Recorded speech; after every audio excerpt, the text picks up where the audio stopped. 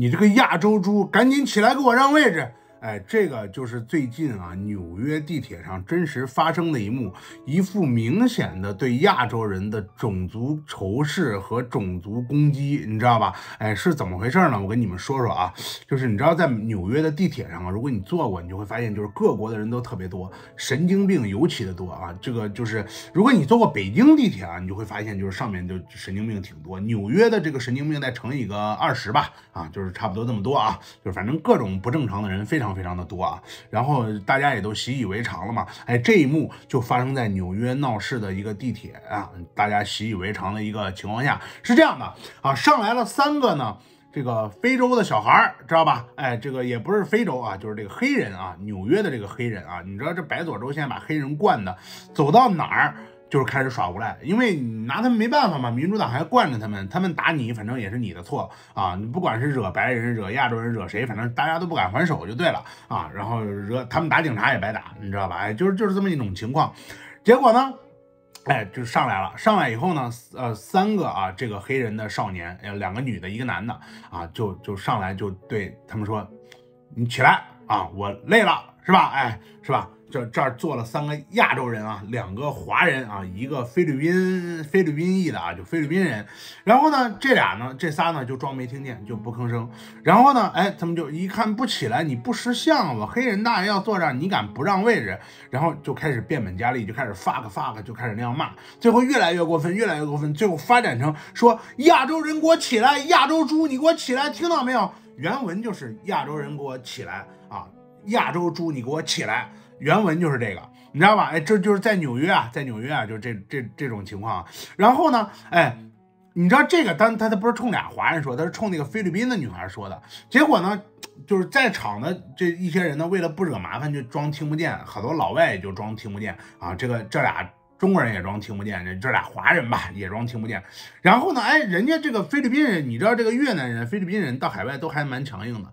然后这菲律宾小姑娘就不愿意了，就站起来就跟这几个黑人对骂啊，就一度要有动手的样子，你知道吧？然后呢，这三个人，你知道是黑人嘛，欺软怕硬，就是惯了啊，就开始啊对这个女生就开始拳打脚踢的啊，然后还骂这个女生是鄙视，然后各种人身攻击。然后然后人家这个东南亚的这个这个菲律宾女生也不甘示弱，就上去跟他们打。然后结果呢？哎，这两个华人呢就看不下去了，你知道吧？就觉得哎呀，你们这个太过分了，因为对方是几个十六七岁的小孩嘛，未成年人嘛，他们也不敢动手打，然后就开始去拽。然后结果呢，这几个黑人少年就连他俩一块打，还朝他们吐口水，怎么回事？然后结果就到这种情况了，周围的乘客就就围着就看着啊，就围着就看着。很多人说，哎，你们不是说老外很热心吗？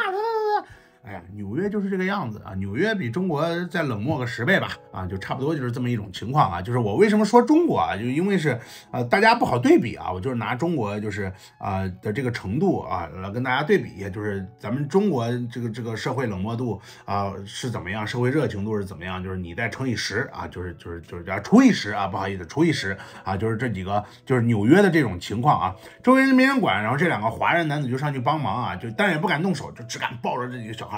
结果这几个小孩对他们拳打脚踢，最终呢，啊，有几个这个女生被打伤啊，然后华人脸也被抓破了，太阳穴也被打肿了，怎么怎么样？然后结果车到站了，这三个黑人啊扬长而去，然后他们就报警了，然后这个警察呢还算管事儿了啊，还带他们走了一圈，在这地铁站看能不能找到这几个人，说找到这几个人呢就当场逮捕，最终呢也不可能找到，对吧？找找不到，警察就说啊，说这个。已经属于仇恨攻击了啊！这已经属于严重的种族歧视了啊！给你们报到这个这个种族就是处理这个种族仇恨攻击的啊特殊小组办公室啊，给你们备个案啊，这事儿就算完了。其实这事儿也不可能有后续，因为这种事情在纽约经常发生啊。这个小组也不过就是个面子工程，也不可能管任何的事儿，你知道吧？哎，这就是你知道为什么在啊在白左州就经常发生这种事儿啊，就是这样。因为你知道很多人可能不知道啊，就是这个啊黑人啊，就包括这个拉丁尤。尤其是黑人啊，现在在这个白左州已经被惯成什么样了？在纽约，我告诉你们啊，你们、你们、你们见过就是那种特别牛、特别牛的那种社会上的那种无赖地痞混混吗？就是咱们中国以前的那种啊，就是比他们再乘以五吧。就是现在黑人在纽约的一种状况。这帮人现在是在纽约不工作啊，不上班，吃福利，然后还到处去欺负你。他知道什么人好欺负，亚洲人好欺负，亚洲人里面中国人最好欺负，韩国人他们不敢惹啊，就和中国人最好欺负，你知道吧？哎，他只要确定你是中国人，确定你是东南亚人，他就惹你啊。但是越南人和韩国人他们就不敢招惹，因为他们一旦招惹这两种人，人家不但会拿枪跟你干，人家还会报警。是吧？哎，这硬茬我们不碰，我们就碰这种软茬。因为什么呢？因为你华人在纽约这个样子，是吧？哎，你既然选择住在这儿了，你还不跟他抗争，是吧？哎，那你不跟他抗争嘛？你也不想搬走，你还眼馋着点福利。所以说实话，他不欺负你没天理啊，他就是欺负你，你知道吧？那黑人现在就叫惯成这个样子啊，大街上抢劫惯着，对不对？哎，把游民所建到你华人区周边抢你，忍着。对不对？哎，你有什么不服的？你不服，你上街你去砸黑人区去，反正又不敢了，对不对？那不敢，那人家就这么对你呗，就这么搞你呗，对不对？人家都主动动手了，都把你打得跟猪头一样，你居然还在想这是几个小孩，我不能碰他们，是吧？哎，那这个时候你都在想止损的问题。我打了一个小孩，这是犯罪呀，我得进监狱啊，是不是？哎，我得被警察抓起来啊，你这。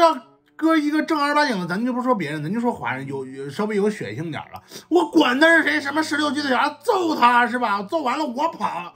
美国警察抓不住黑人呀，那他就能抓住亚洲人吗？美国警察就是在纽约啊，就是这样的啊，别的州警察还是管事儿，纽约警察他就不管事儿，因为很多地方没监控就抓不着人，你知道吧？他打完你不会跑吗？因为大家别说这种事儿不可能发生，因为这种事儿我们小时候就干过，就是我们十六七岁出去打架，打完就跑了，那纽约警察抓个屁，他这哪儿都他都抓不着，他也不抓你，你知道吧？因为他们也嫌麻烦，他们的领导跟他们说的就是，哎呀，这种事情。出人命了吗？没出人命吗？对吧？有监控吗？没监控吗？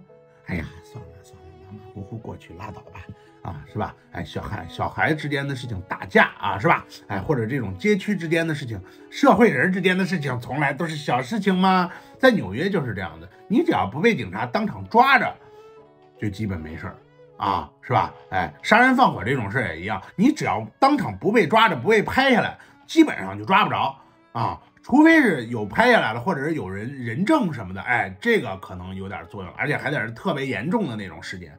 你听到这一幕是不是有点熟悉啊？哎，没错。就是有点像咱们八九十年代时候的那个治安啊，差不多就是那个样子。就是你当时不被抓着，你就没事儿了，你知道吧？在纽约现在就是这么一种情况，而且这个黑人啊，现在都都已经摸索出情况了，就是很多的这种黑人小孩啊，就十六七岁、十七八岁、二十来岁的这种无所事事啊，就是每天游荡于地铁之间，然后见到就是尤其是被惯的，你知道吧？就是他们生活又野，天天也不上学，然后见反正见到什么人。亚洲人啊，或者是见到什么印度人啊，或者见到什么啊，甚至有些白人，他们就上去欺负一下，冲你吐口水，冲你弄这，哎，反正这些白人的法官还向着他们，尤其现在纽约的检察官啊，纽约的警察局啊，纽约的市长啊都都换成黑人了，所以说他们在这个城市里就现在为所欲为。我就呃，反正我也对这些华人我也不同情。我知道很多人会说，那你身为华人你也不团结呀？我告诉你们啊，活该。知道吧？叫你们投民主党的票，活该！怎么不打死你们呢？这就是我的看法。不好意思啊，就是我认为啊，一个人在这挨了打，你还你要么就反抗，要么就搬家。你又不反抗，你又不想搬家，你还想在这弄？嗯嗯，我的看法就是你自自找的。人应该为自己的选择负责，对不对？哎，这种事情嘛，我就没话说啊。可能我今天言辞有点激励，就尤其是那次，我告诉你们啊，我告诉你一个真事儿啊。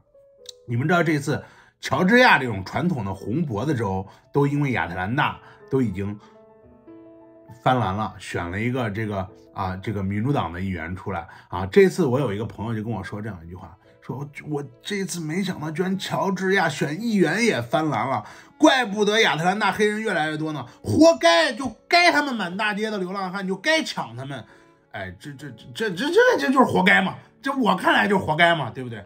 反正。我是不理解这些人的选择啊！有些人可能你搬不走，但是你还手总会吧？你不还手，挨打了就是活该呀，就是活该呀，是吧？这这就我的看法，行吧？哎，这就是我对这些啊选择这些地区的人的看法。那行吧，这一期呢就做到这儿啊。我只是觉得啊，人被打被欺负一定要还手，你要么就搬走，要么就还手，对吧？你连逃跑的勇气都没有，人家不欺负你，欺负谁呀？行吧。这期就做到这儿啊，有什么事儿咱以后再说啊。这期聊这儿，大家拜拜。